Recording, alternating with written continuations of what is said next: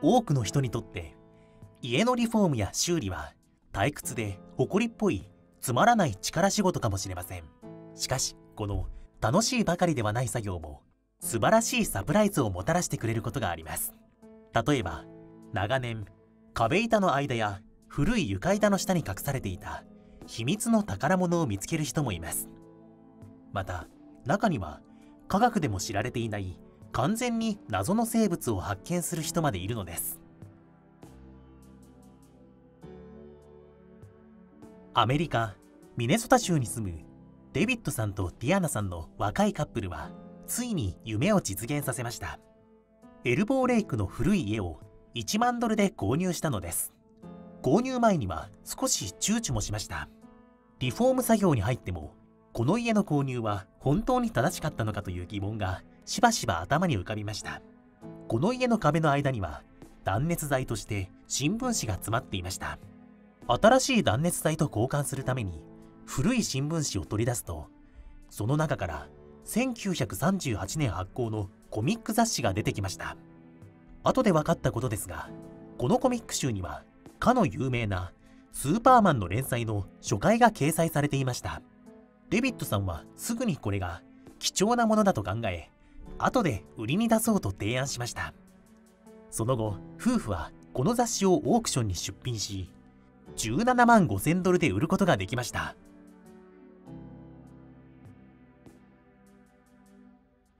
アメリカルイジアナ州に住む女性は自宅の床から奇妙な音がすることに長年悩んでいましたがどうすればよいのか分からず困っていました。最初音はほとんど聞こえないくらいでしたが年々大きくなり徐々に気になるようになってきました。そこでそのような奇妙な現象の専門家であるジェフ・ホーホフさんが駆けつけました。特別な作業着に身を包んだ彼は寄せ木の床を注意深く外し始めました。床板を開いてびっくり。床板の下に潜んでいたのは何千もの生物でした。あっけに取られる女性にジェフさんはすぐに説明しました。驚かれたかもしれませんがこれらは全く無害な生物ミツバチです。何もしなければ害を及ぼすようなことは決してありません。むしろ美味しい蜂蜜が取れることでしょう。ミツバチは少し奇妙ながらも大変興味深い生き物で私たちが思いがけないような場所に巣を作ることがあります。しかし一体どうやって床下に入り込んだのでしょう。実は床板にある小さな隙間から出入りしていたことが分かりました。しかし巣が大きくなりメンバーも増えてくると特に夜は騒ぎすぎたようです。ジェフ・ホーホスさんは次のように話します。ミツバチたちは自分の属するコミュニティに全てを捧げ共通の目標のために協力して働きます。私がこのような際一番時間をかけるのは女王蜂を探すことです。女王蜂は巣の中で唯一卵を産みます。1日に最大2000個もの卵を産むことがあります。女王蜂は決して傷つけてはいけないのでどんなに時間がかかっても正確に探し出さないといけないのです。ある一軒家で2人の男性がリフォームのために台所の壁の一部を解体していました。壁板のボード1枚を外すとそこには蜂の巣の残骸がありました。蜂がいる時だったら大変なことになっていたでしょう。ニュージーランドのティム・クラークさんに母親から電話がありました。母親はそれまでに見たこともないような奇妙な昆虫がキッチンにいるというのです。もちろん心優しいティムさんは母親の SOS を無視せずすぐに母親の家に向かいました。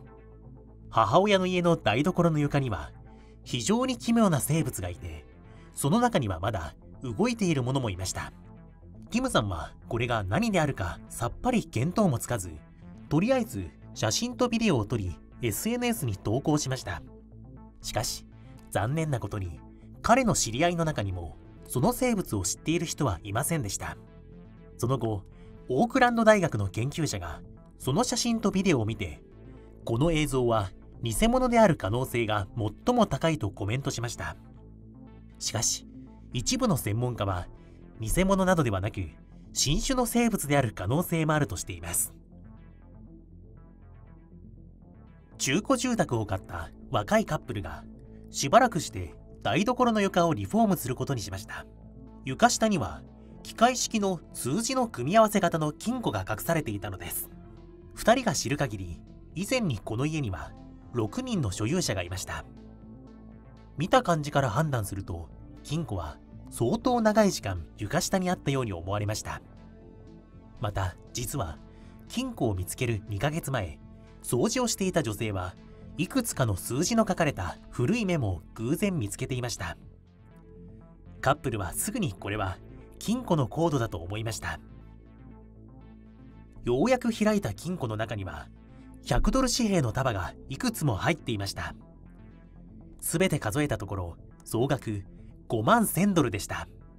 また金庫の中にはこれまた古いウイスキーのボトルも入っていました。いかがですか？中古住宅も悪くないかもしれません。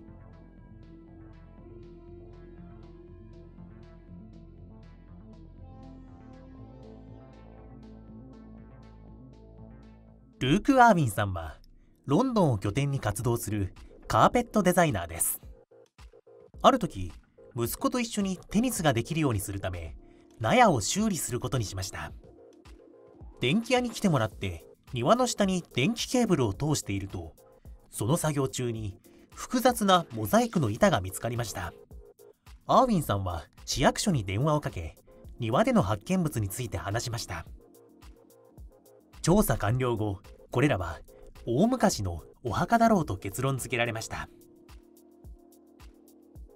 スペインピノスプエンテの夫婦はずっと家の中で聞こえる不審な音に悩んでいました。